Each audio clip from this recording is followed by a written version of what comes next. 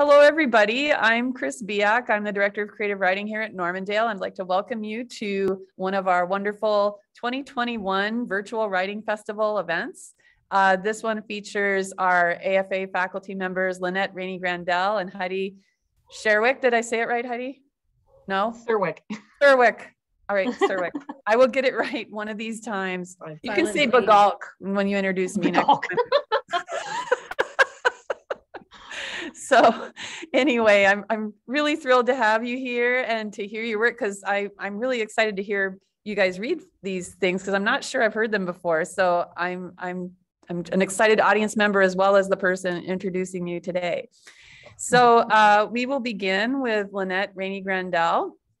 Um, Lynette is the author of two poetry collections, Wild Verge and Approaching the Gate, which won the Northeastern Minnesota Book Award for Poetry. In addition to her work with Sonoglyph, she performs frequently at spoken word venues, is a core member of the Basso Poetry Company, and is a seasoned collaborator in multimedia performances. Her poetry has appeared in Alligator Juniper, It's Animal But Merciful, mnartists.org, Poetry Motel, Revolver, Poetry City USA, Seminary Ridge Review, and more. A crazy Finn given to tree worship, she continues to survive the COVID madness by visiting her horse in the forests of Stillwater. So take it away, Lynette. All right. So, um, oh, and how nice. Thank you. um, I should have brought my stav with me, and so I could be doing that stuff. Yes, I do like to study the old ways. So, um, given the weather, the the time of year it is, um, when when um, everything's changing, you know, um, the, the, this it's getting colder. Um, death is coming for a lot of things, um, and and and that always sort of inspires me. So this is a poem um, based on some old Finnish um, uh, songs, basically folk songs um, and traditions, called Primitive Tools. Stone and stone and stone am I, without fur, not the strongest. I am tracking what is missing, hungry for the hard grain that sleeps still. What does it take to wake the ice bound earth? This slow stillness does not breathe. The seed may never be born. But I have learned to forge iron. I have learned to make a knife. I'm going to read one more poem from this book, at least so far. I don't really have any of this planned out. So, um, uh, uh, yes, I'm inspired by my Finnish heritage, not for everything I write, but for some things I write. So I have a whole series of bear poems, and uh, here is one of them. I am a bear, a mudhead climbing out of the earth. I am a bear whose lips whisper this sonnet. I am a bear, an animal with a bone between its legs. I am a bear, mesmerizing, with a well trimmed beard and dark eyes. Come, look at my loosening robe, and run your hands through my glistening fur.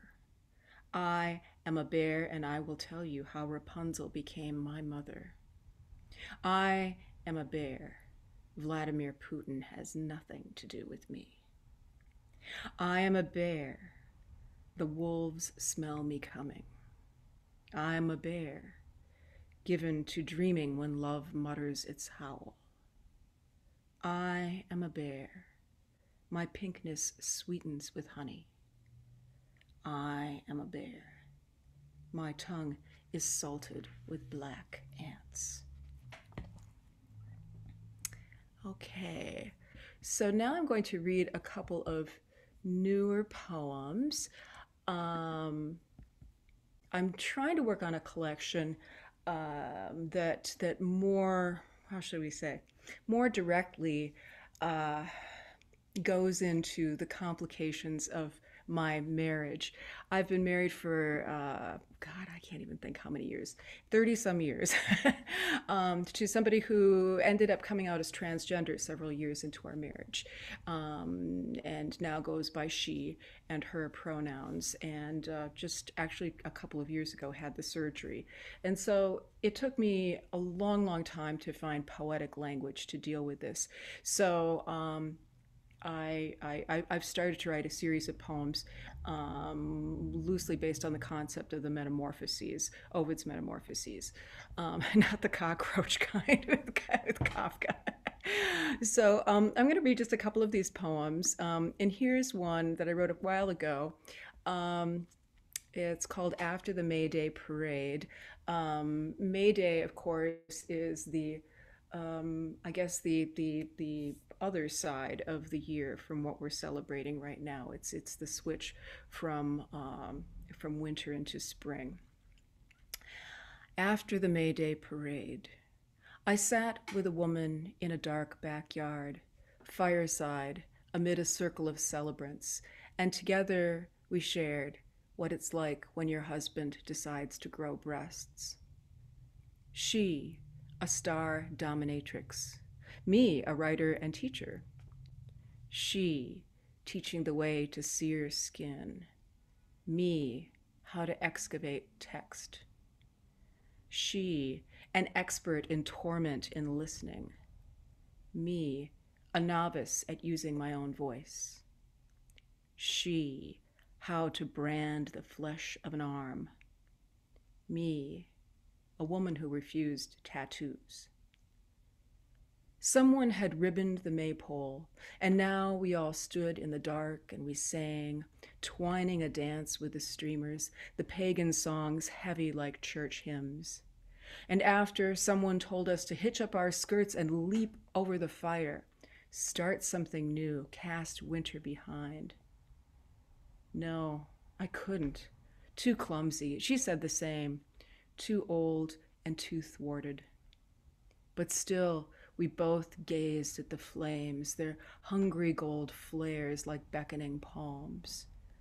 Together we stood away from the fire, watching, wondering, then both cried, Yes! Turning our backs to old boundaries, hand in hand as sisters, we leapt in the night, sharp intakes of breath at the presence of heat as we plunged into the palpable unseen. Okay, and I think I have a couple more time for like one or two more poems. So let's see. Uh, here's uh, here's another one.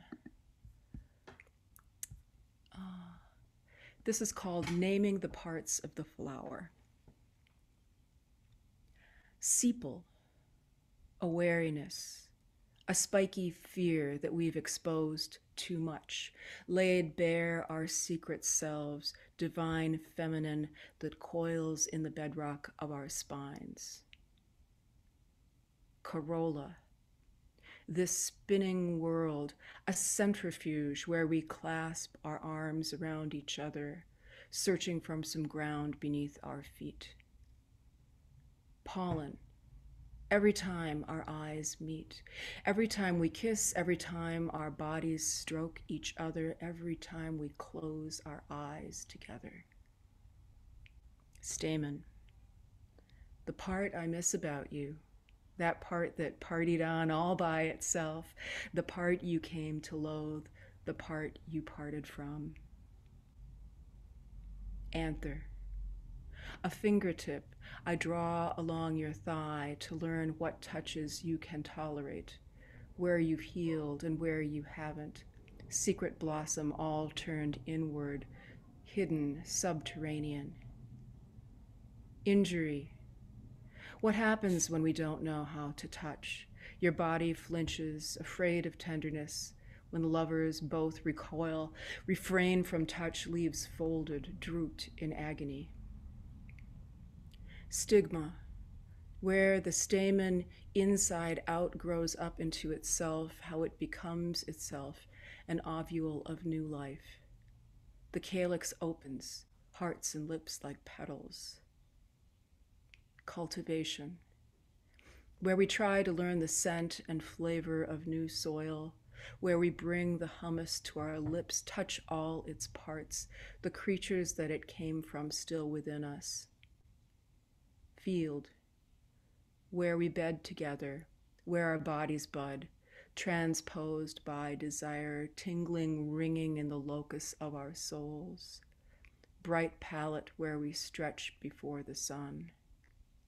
Flower, the holy wholeness that we are, the soil, sun, and moon of us, the compass rose that blesses each direction, radiant root that lights the path to bring us home. And I think I've got time for one more. Let's see. I don't think I opened this one. Hang on a sec. I should be able to find it. Ah. uh, this must be it. No. Uh, here we go. Um, this doesn't have a title yet. Well, I guess it does. It's I've lived inside so many creatures. Uh, I have lived inside so many creatures to pursue you, and you so many selves.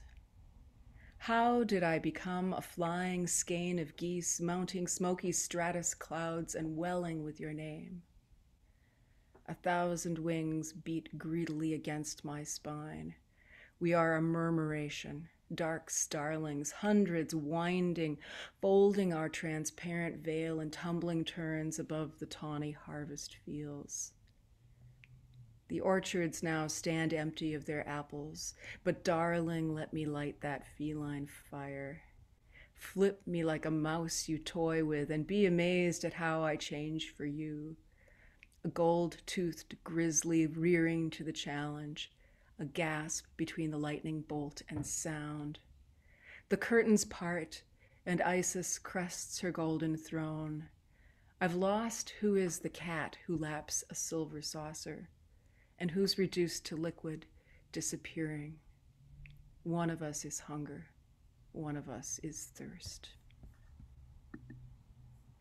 Okay, and that's it for now. Thank you so much, Lynette. Um, yeah, Yay! applause, applause. Um, it's just so calming to hear you read. You just have such a fantastic reading voice. And I know you taught me how to read once because you said it was because you were on the radio. So you used to do a radio show. So right on radio. So um, thank you for that wonderful reading. Um, our next reader will be Heidi Czerwiec. I read her bio. And if you think of it as Sir Wick, like, you know, you have a title, then that's how I'm going to do it. That's how I'm going to remember it. So, Heidi Czerwiec is the author of the lyric essay collection Fluid States, selected by Dinty W. Moore as the winner of the Pleiades Press 2018 Robert C. Jones Prize for short prose. And she's also the author of the poetry collection Conjoining, She's the editor of North Dakota is Everywhere, an anthology of contemporary North Dakota poets. She writes and teaches in Minneapolis, and she, where she is the editor for Assay, a journal of nonfiction studies. So let's welcome Heidi. Thanks so much, Kris, and thanks for all your work putting together this festival every year and for everybody's help in making sure it goes down. Um,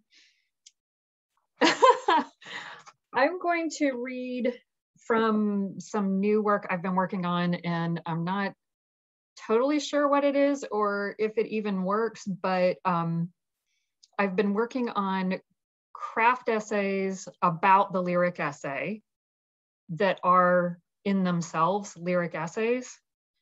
And so it's been kind of a weird thing I've been trying to do. And one of them uh, just came out in the collection A Harp in the Stars, an anthology of lyric essays. Um, and I think the only thing you would really need to know about it um, is the myth of the labyrinth from Minos, that uh, Daedalus was the architect and um, Ariadne was the princess who had a spool of thread that she threw down it that would um, give Jason the path through it. Was it Jason? I think it was Jason. I'm not sure. Um. Theseus. Yeah, yeah, that's it, Theseus. Okay. It's called Success in Circuit, Lyric Essay as Labyrinth, with thanks to Karen Babine for delightful turnings. And it starts with a uh, epigraph. We create passages for a reader to move through, seeing and sensing what we devise on the way. And when the reader's done, levitation. She looks down and sees how she's traveled, sees the pattern of the whole. Jane Alison, Meander, Spiral, Explode.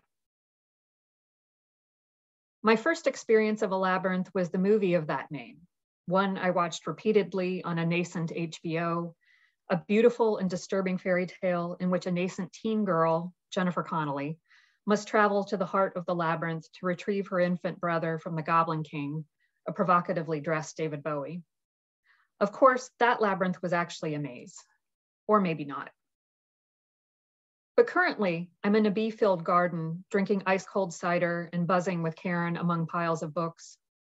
We're spending a summer afternoon talking around and around the issue of mode, what it is and how it affects movement, specifically momentum in the lyric essay, what drives it forward so that you end in a different place than you begin.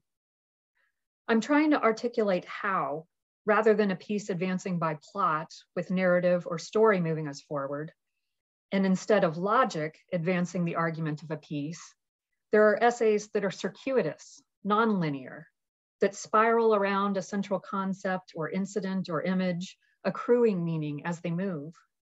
No forks, no false moves, no misdirection, only perhaps a pleasant disorientation as the writing twists and turns. It occurs to me that such an essay might be described as a labyrinth. To turn, turn will be our delight till by turning, turning we come round right. Like Daedalus, we construct both the meander and the thread to follow it, disorientation by design. When I think of the labyrinth, aside from Bowie, I think of Borges, a master of the lyric essay form, though I don't want to evoke the Garden of Forking Paths.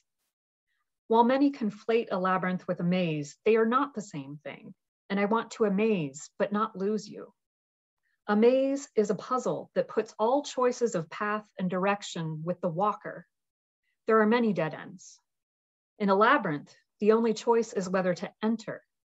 A labyrinth is defined by its circuits, its singular unicursal path solved merely by walking.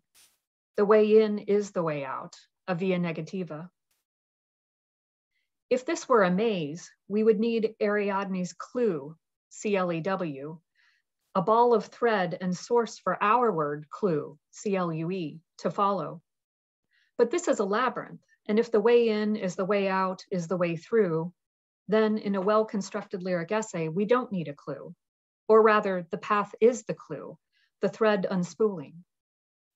When I say thread, it is important to remember that while Daedalus designed the walls that define the structure, it is the path, the white space, the via negativa that gives a labyrinth its capability, an artistic space to move through, to engage with, both the literal white space employed in fragmented lyric essays, but also the figurative white spaces, the lyrical lateral leaps in logic across which we bound faithfully, propelled by the prose. To turn, turn will be our delight. This affinity for the lyric, for poetic prose, comes from its source in verse, which means to turn. Its recursive language spiraling, but not out of control. The careful writer keeps that path open, if not always apparent, an intention that can be traced, though not always at first reading. There will be clues. The author means to lead, not lose you. While the lyric essay may follow the labyrinth, Karen and I are prisoners in a maze, and our discussion resembles Borges's garden, with forks we do not follow, false turns, retracing our steps. What is mode, and how is it different from form or shape? Is essay noun a form, but essay verb a mode? Is there pure lyric in prose? Must there always be movement, and does it have to be forward? Can it be recursive so long as it's not redundant? Can I have another piece of rhubarb bundt cake? Who's doing this well and what do they call it? Who decides taxonomy, the writer or critical reader? But I have taken notes and am returned to tell you all. Brian Doyle made a great Daedalus and would concur that by turning, turning we come round right. Karen and I are now discussing his Joyas Voladoras, how it's not linear, but has a path through it, labyrinthine. I am reminded that there's a moment as you near the center of the labyrinth where you turn, are turned back, sent spiraling to the outer circuits, left wondering if you've lost the thread, clueless. In his essay, we start with the speed of a hummingbird's heart, its beauty giving way to its brief beating. Then we move sideways, turn toward the consideration of other hearts, those of whales and birds and worms, before eventually wending to the human. In verse, in poetry, there is a term for a rhetorical turn called the volta.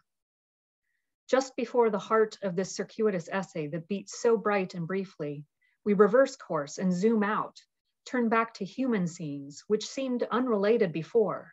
Like a thousand volts, we are sent straight to the heart of the essay, the labyrinth center. But Doyle has prepared us, unspooling that thread throughout for us to follow across the white space of his paragraph breaks and subject leaps, an intention that can be traced. There must be a path to follow, a negative capability inherent in the design. When I was a young, inexperienced artist, I got the Chartres Labyrinth, a cathedral floor design, tattooed on my back by a similarly young, inexperienced Daedalus. Tattoos, like lyric essays, are best crafted by someone with control of its elements, someone who can balance intuition with technique, lest the structure collapse. While I loved the experience of getting that tattoo, the meditative humming as the stylist traced its design in black ink, and while I loved the tattoo at first, 20 years later, it has turned into a muddy mess. Identifiable, but the path is gone, the thread lost. Recently, I went to a consultation for a new tattoo. The new artist and I, again, each of a similar age, but now with the skill of years of practice. After we settled on the new image and its placement, talk turned to my other tattoos. It made her sad I hated my labyrinth tattoo, though she was not responsible.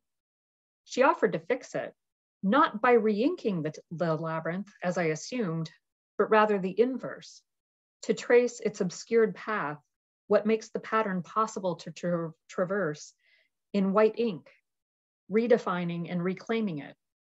Her stylist would emphasize that white space, that via negativa, so I could feel positive about the tattoo once again. Her turning would be my delight, her intention traced in white. Talking about Doyle's essay reminds me of my appointment. And when I tell Karen about this revelation, she, this revolution, she says, you have to write this essay. When I do so, when I turn to research, I find that a darker metaphor for the labyrinth's path is Christ's harrowing of hell, symbolic of his breaking death's prison. This, in turn, is reinterpreted as the road to Jerusalem, inscribed in medieval cathedrals like Chartres, a substitute for those pilgrims who would walk Christ's path, but who could not make the trip. Either way, the labyrinth is reenacted as a journey inward through physical and metaphysical space in order to return transformed. At the end of Labyrinth, the girl Sarah meets the girl Sarah meets the Goblin King at the center and solves his puzzle by declaring, "You have no power over me." This might suggest that the maze maker possesses no real power, that it's all a lovely fraud. What it actually reveals is that this maze was, in fact, a labyrinth, that its process was not the physical path, but an interior journey that leads Sarah to this re realization. But that space must be meaningful. You want the reader to be a willing pilgrim within its patterns, not a prisoner. Otherwise, they might just strike across the floor's pattern, fly away, escape. Like a literary Lazarus, an undead Daedalus, I am returned to tell you all the clue to the lyric essay. A labyrinth that uses its repetitions with variations, its circuitous patterning to delight and disorient, but lead us, turning and leaping in a ritual dance around its center. Thanks. And then I have a very short piece that's an excerpt of another um, craft essay on the lyric that is a lyric essay um, that is about the use of white space, um, how, how people use white space in lyric essays. And it's called uh, Zero at the Bone. Emily Dickinson knew something about holding space, the power dashes have. The white spaces hold so much. The ghost of her white dress posing in the corner. They may be silent, but are not empty. Like musical rests, like caesuras, which have value, this is what the spaces say. John Cage experimented with silence in his music. After an experience in a completely soundproof chamber, he realized that, far from silent, he could still hear his nervous and circulatory systems, his breath, a white noise. Silence is impossibility. Cage claimed he composed all the notes to four minutes and 33 seconds, also called the Silent Sonata, but that they were all silent. I think about this reading Jenny Boully's The Body, an essay, where the footnotes refer to a text that exists, fully imagined, but rendered unreadable, absent. Each note, each sound, each correspondence whited out. X times zero equals zero. Zero, the great eraser, the great erasure. Terry Tempest Williams in When Women Were Birds recounts how her dying mother left all her journals to be read only after her passing. When Williams does, she finds that all the journals are blank. At first, this revelation is confusing, even cruel. But now, 25 years after I first opened the journals, I am finally able to think about what this emptiness means. There is an art to writing, and it is not always disclosure. John Cage said, I have nothing to say, and I am saying it. Zero at the bone. Thank you.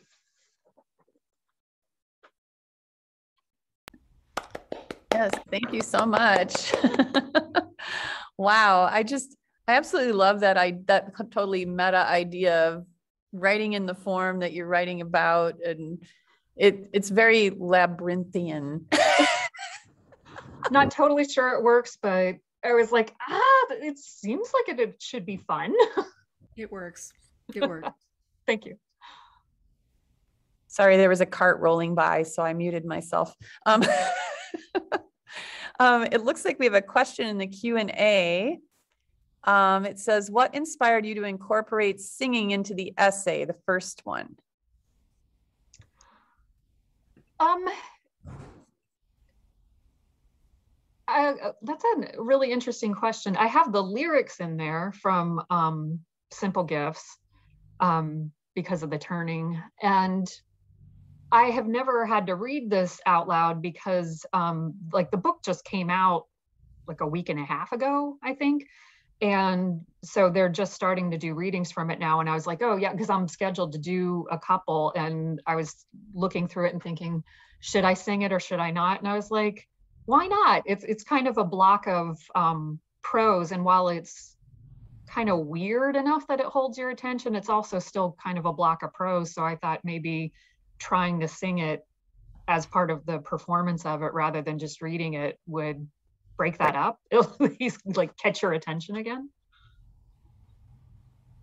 Well, um, you know, I'd, I'd kind of extend that um, to Lynette. Lynette, you do some singing as part of your performances as well. So, what yeah. kind of dictates your decision about when to sing or use tonal uh, things in your poetry? Um, Do you mean when I'm performing it, when I'm reading it? Yeah, yeah. Mhm. Um, whether I'm feeling confident or not. I mean, really, that's that's the only thing. You know, you, you just kind of feel it or you don't feel it. Um, and it has a lot to do with feeling like there's an audience there that wants to listen.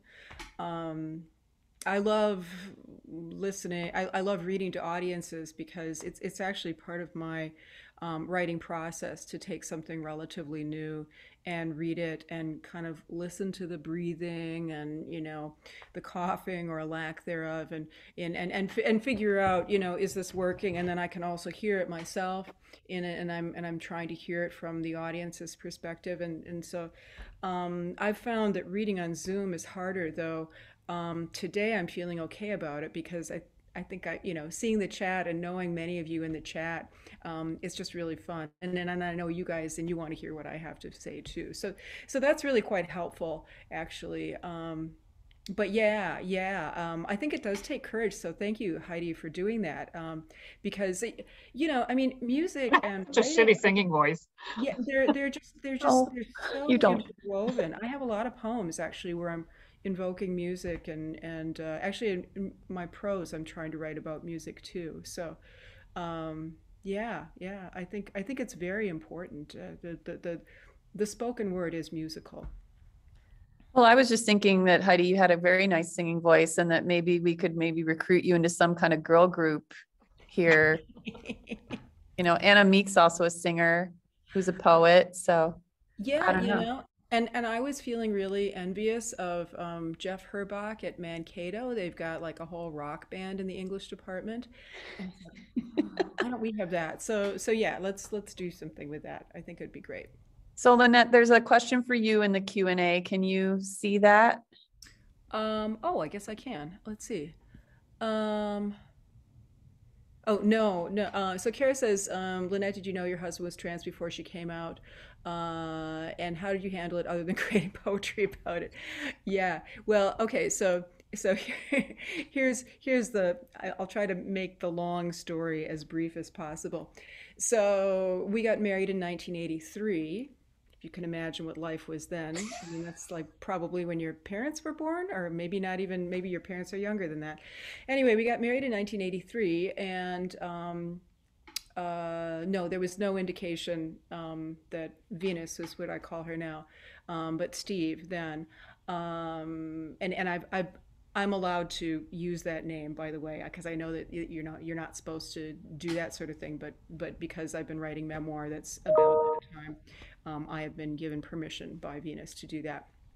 So anyway, uh, and it wasn't until 1988 that she started coming out, and even then, it was it was a little unclear. She said she was transgender, and then um, was a cross dresser for many years, and then it just started increasing. She thought she was she thought she was uh, part of the fetish community for many many years um, and it really wasn't until um, i want to say like three or four years ago now that she finally decided that she actually had to have the legal name change and gender change and surgery and everything like that but she'd been on hormones for many years before that so so so we've been we've been living in this sort of sort of gray area for the longest time and um, it, ha- it it was really hard for me to figure out how to write about it. Part of it was that it, it didn't feel like my own story.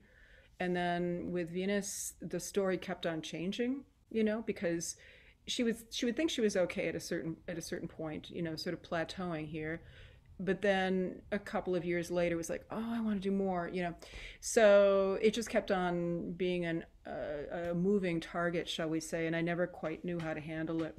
So um, but two things um, thanks to Kris here she she told me like four or five times i should write a memoir and the last time she told me that i i decided to follow her advice and so um, and so when i started writing i started developing some language and then the other big thing that helped me was um, the Supreme Court decision to uh, uh, um, make gay marriage legal. And suddenly I felt as if I didn't have to hide anymore, um, which is a weird thing because we were already way out there anyway. Venus fronts a rock and roll band, and she, she's a she's a very public person, um, but it still felt as if I could sort of like not come out at work you know because i was a little afraid about what would happen. So so it's been a very long journey for me. And um, the fact that we talk pretty regularly about trans issues in in greater society um, has just given me a lot of permission as well as um, understanding terminology that feels right to use in poems so that's as short an answer i can make on that one sorry about it Okay, are there any other questions anybody has? Checking out the chat, checking out, the- I've got another one in the questions. Oh, wait. I think that was the one we already answered though. Yeah. yeah Lynette, I Okay. have a question for you. sure Um, can you talk a little bit more about the bear? Like what what the bear symbolizes? Is this like from uh Finnish folk tales or is this like a personal symbology It's, or it's it's it's Finnish, um, let's say mythology culture, um, old stories. Um, so uh, several years ago, I got interested in exploring the Finnish half of my heritage as maybe a source of poetry. Um, um, up to that point, I didn't think I had an interesting heritage to write poems from and I was I was envious of a lot of my friends who did seem to have interesting backstories but my parents never told stories about the past and you know we were just like you know white bread trying to fit in um, which I understand is is actually a, a cultural problem for white people now. So so anyway, one of the ways I tried to solve that was to um, um, do some research into Finnish heritage. Um, by this point, everybody who I could have asked questions of had passed away, and so I know very little about my own family history other than a few facts. Um, but this allowed me to kind of play fast and loose with things and imagine what people's lives might have been like. And one, along the way, one of the things I learned about was in Finnish culture, the bear is is sacred. Um, the bear is oftentimes referred to as the old man of the woods. Um, women marry bears. Sometimes the bear is ritually killed. Um, the bear actually comes from the Great Bear constellation, what we know here more as the Big Dipper. Um, and so the the um, the killing of the bear is actually a, whole formal thing. They have you know songs and feasts, and it's sort of like an Irish wake with the bear's body propped up at the end of the table, and then. Um, and then, and then the, the, the bear's skull is put in the, the top of the tallest tree, and it's supposed to go back up to the stars that it came that the bear came from Otso came from and so um, and this is true in many many cultures it's not just Finnish culture that you know the, the Ainu and Ainu I think it is in Japan and a lot of the uh, Canadian Native American tribes tribes have all of these bear things going on so very similar kinds of things and so so it seems to me that it's about um, the bear is central in the wheel that kind of turns the earth and it's it's the the spinning of the stars around the North Star, and it's um, anyway. Anyway, that's so so so. I've I've sort of adopted the bear as an interesting figure in my life.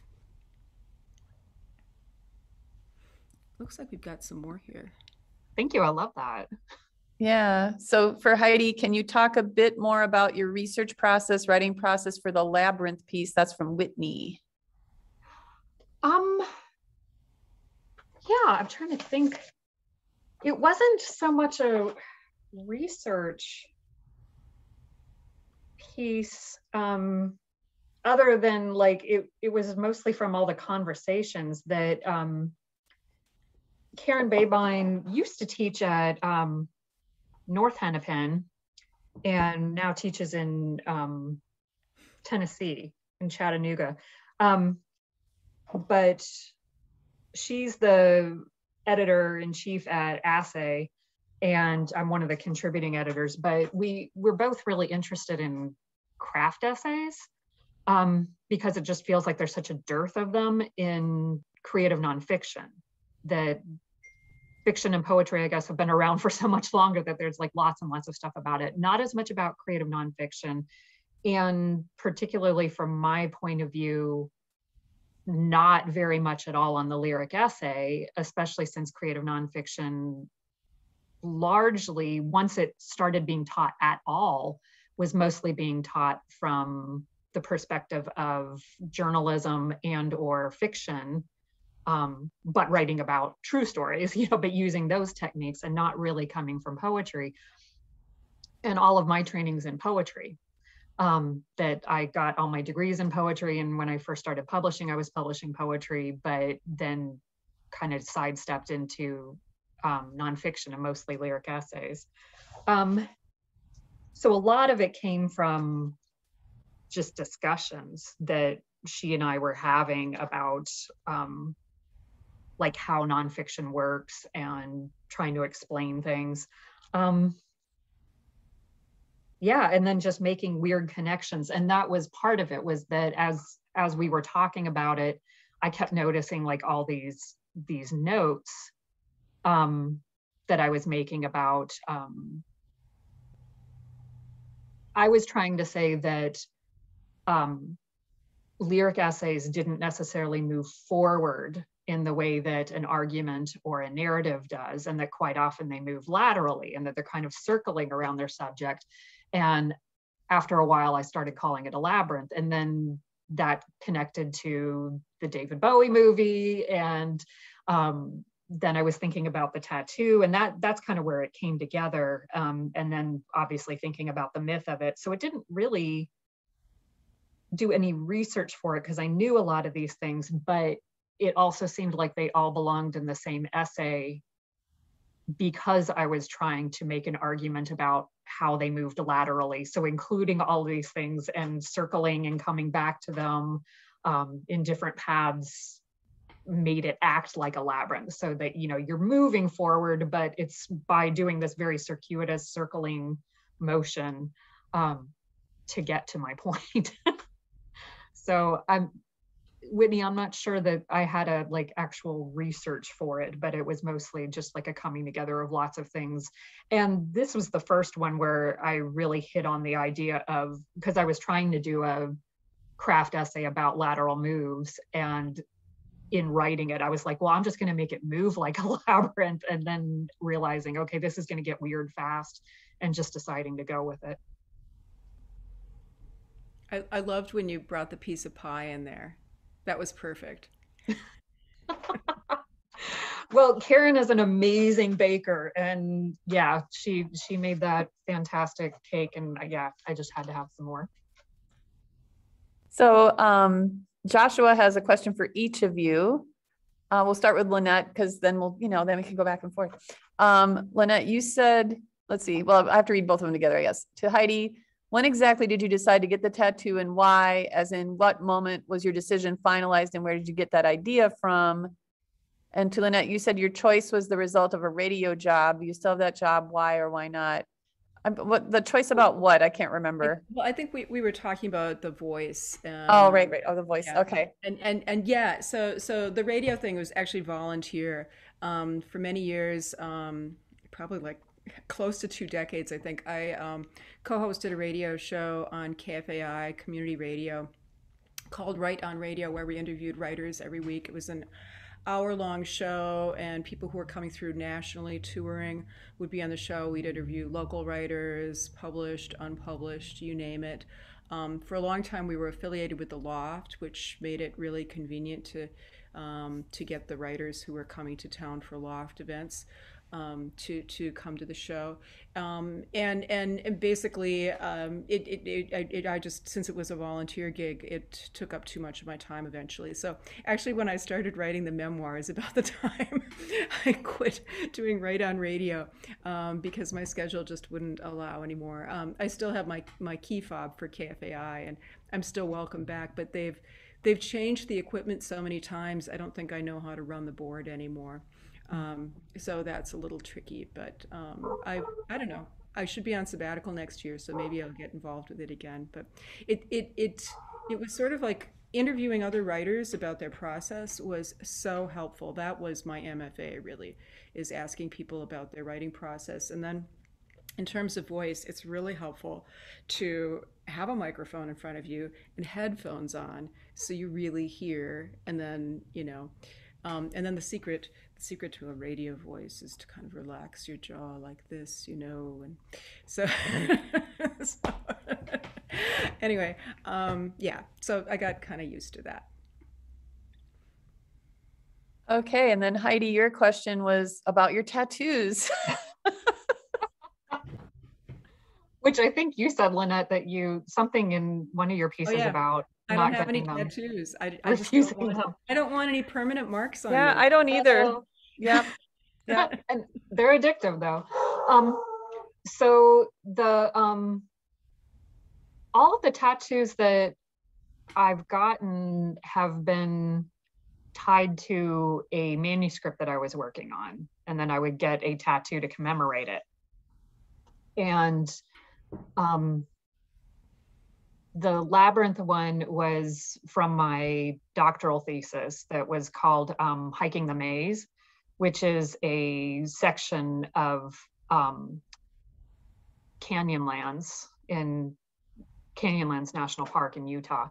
So I got the um, tattoo when I was, I don't know, like in my mid to late 20s, I guess, in Salt Lake City. And I think the tattoo artist was also in her like mid to late 20s. she was very young and I think just too inexperienced to say, this needs to be bigger or else it's just going to run together over time like she didn't know enough to talk me out of it that was just like yeah we can do this um, and when i had been looking up maze or labyrinth patterns to to get a a tattoo i just thought the chartres cathedral one was the prettiest so that's really it and it's it's pretty ugly right now. I haven't because when I got the um, other tattoo, um, and she was saying we could make an appointment to clean it up. That was like right pre-COVID, so I haven't had a chance to go back and get get the labyrinth cleaned up. Yeah, and I'm not sure. I, I hope everybody listening understands. So, so the labyrinth, like the kind Heidi's talking about, like Chart, um, it's not one that you get lost in. So you described it perfectly where you know you kind of loop around like this and then you get to the center and you start back and you go around the side of it again um, and it's it's meditative it's a walking meditation is what it is and it's wonderful And Yeah. uh, Ka- Kara wants to know if you're a Mandalorian fan. Okay, I'm guessing that's because of Baby Yoda in the shot. I'm just guessing, but I mean, yeah, I enjoyed it. I I was watching it mostly with my son um last winter and he got me Baby Yoda for Christmas. So Baby Yoda now lives in my office. But, but yeah, it's a good show. Yeah. Awesome. I, I, I have not read Baby Yoda poems yet by anyone, but I'm sure they're coming, you know, like I, I have never watched, I've watched the two episodes and I, then I think we canceled our subscription to Disney and that was that. oh my god it is good it is good Yeah. Oh, well, we are heading towards the end of our session here, but um, are there any final quick comments or questions anyone has? I actually have a labyrinth poem i don't know if you want me to read it should i read it Sure, read it. That's a nice way to end. Yeah. All right. This one's in in uh, Wild Verge, and this is about uh, a labyrinth actually at Grace Cathedral in San Francisco, outside, Mm. at a- the top of a hill. Walking the labyrinth. The path is a series of loops, big and small. I step forward and forward and forward, listening to footfall and the sound of feet treading and breathing, the measuring in and out, and all of my muscles moving in slow, measured rhythm. The hollowness and the wholeness of this routine movement, the beauty of how at a turn one leg must move farther, the stride of one leg reaching, overtaking another. It astonishes me. I see the feet of others before and behind me casting their own little pathways in varying patterns, fanning out, closing in, fanning out again, and then brought to a single line. Who would have guessed that a spirit inhabits geometry? I could measure cubic yards of air if I wanted to. I'm holding the air in my hands, palms tilted towards heaven. It is full of oxygen.